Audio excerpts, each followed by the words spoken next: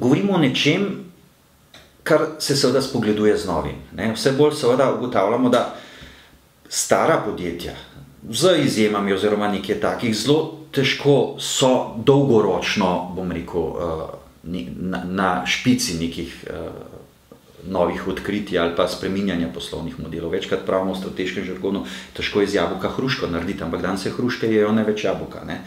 Tako da z tega vidika je ta nov duh izjemno pomemben, ki ni bil značilen, uh, ki ga je naprimer ZDA, pa potem uh, naprimer Izrael, ki se danes reklamira upravičeno kot Startup Nation, tam od 90-ih let prejšnjega stoletja je ta zagon začel graditi Ni bil prej, ne, veste, Izrael sam je na nek način lahko v enem delu zelo nazadnjaška država. Ne, pa nočem reči, da so to tisti kibuci, pa to nazadnjaška stvar, kam je bil kakšen levičar napadel, ne, da sem proti komunam, ne, ampak imajo zelo, zelo veliko pestrost, tudi zelo, rekel, nazadnjaške oblike organiziranja, naprimer, kjer tisti najbolj konzervativni židi, pač moški ne delajo, se ne izobražujejo, oziroma samo v enem oskem segmentu, ne v formalnem delu in tako naprej. Ne. Tako da, Veste, so, so družbe različne in meni je ta raznolikost všeč. In ta raznolikost na nek način v Evropi kot taki manjkala. Se pravi, ali pa tudi ta priložnost ni bila dana. Jaz se večkrat študenti s svojimi pogovarjanji rečem, da jaz res, ko sem bil v vaših letih, sem imel štipendijo in me je služba čakala. Služba me je čakala v treh podjetjih, pa sem se pa sam odločil, naprimer za univerzo.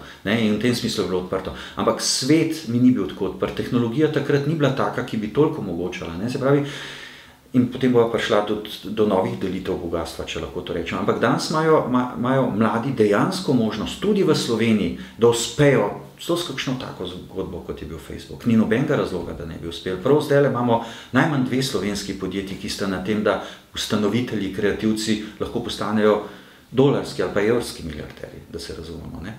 Se pravi, to se dogaja, pa bo pa kaj pa zdaj? Ne? Se pravi, to možnosti mladi imajo. Seveda, Niso vsi za to, jaz se čist strinjam, ne, neke psihometrične študije pravijo, da nekje do 20 do 30 odstotkov ljudi v neki naciji je lahko podjetnikov in jaz vam trdim, velik delam s tujimi, uh, tako študenti kot podjetniki.